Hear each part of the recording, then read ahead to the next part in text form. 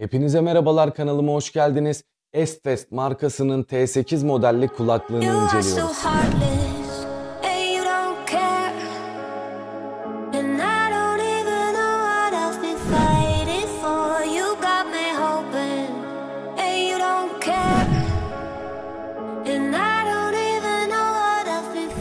Bugün size yapay zeka destekli bu kulaklığı tanıtacağım.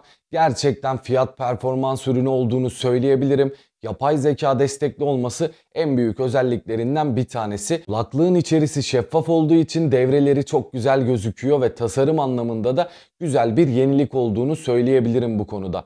Bu kulaklıkta en büyük, en vurucu özelliklerinden bir tanesi mikrofon kalitesinin gerçekten çok güzel oluyor olması. Bluetooth kulaklıklarda genelde mikrofon kalitesi belli bir seviyede oluyor onu söyleyebilirim. E8 markalı kulaklıkta gerçekten mikrofon kalitesine özen gösterilmiş. Ayrıca gaming modu ve müzik modunu da kullanabiliyorsunuz. Dokunmatik tuşlarına basarak bu modlar arasında kulaklıkta geçişler yapabiliyorsunuz.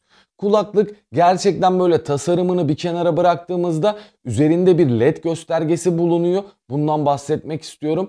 LED göstergesi kutunun ne kadar şarjı kaldığını gösteriyor ve üzerindeki küçük ledlerde kulaklıkların ne kadar şarjının kaldığını gösteriyor. Bendeki renk baktığınızda lila olan bir renk ve ben bunu kendim kullanmayacağım için bu rengi sipariş ettim ve yaklaşık ürünü sahibine vermeden önce 2 haftaya yakındır deneyimliyorum. Gerçekten dışarıda film, müzik dinleme olsun hatta telefon görüşmeleri dahi hepsini yapıyorum. Zaten ilerleyen dakikalarda mikrofon performansını da sizlere göstermiş olacağım. Kulaklığın 7 saate kadar bir müzik dinleme, 4 saate kadar da telefon görüşmesi yapabilme gibi bir özelliğini sunuyor bizlere. Kutusunun şarjı gerçekten çok uzun süre gidiyor diyebilirim. Bu kulaklıkta alan insanların yorumlarını okuduğumda tasarımı ilk dikkat çektiği için kulaklığı genelde tercih ediyor kadın ve erkek kullanıcılar. T8 modelli bu kulaklığın kutu içeriğine bakacak olursak kutunun içerisinden kulaklığın kendisi geliyor.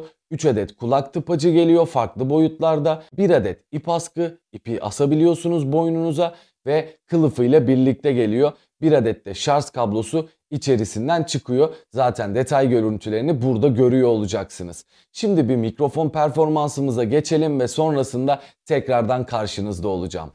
Merhaba, sesimi şu anda T8 kulaklıktan duyuyorsunuz ve az önce video çekimi yaptığım yerdeyim. Herhangi bir şekilde bağırma, çağırma yapmıyorum. Sesim gayet normal ve sesim şu anda iSpace T8 kulaklık üzerinden geliyor. Şimdi bir de dışarıya çıkacağım balkona ve rüzgarlı ya da dış ortamdaki sesini de sizlere göstermeye çalışacağım.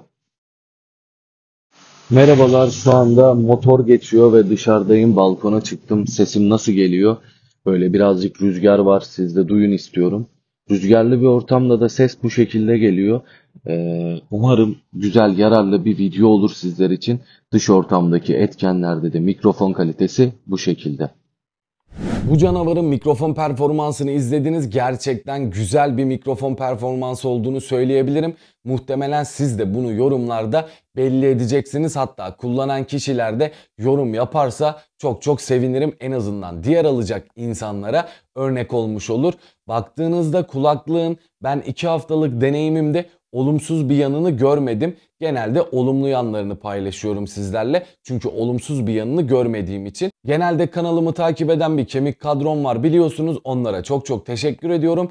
Bir üründe dezavantaj neyse bunu her zaman söylemişimdir. Artısı ve eksisiyle paylaşmaya çalışıyorum sizlere ki daha şeffaf bir video olması için en azından ürünü aldığınızda bu böyleydi, böyle çıktı dememeniz için. Yapay zeka destekli olduğunu söylemiştim. Yapay zeka destekli bir gürültü engelleme modu bulunuyor ve bu sayede de güzel bir müzik, film performansı ya da oyun performansı yaşayabiliyorsunuz. Genelde bu kulaklığı soracak insanlar şunlar. PUBG oynarken nasıl bir performans verir?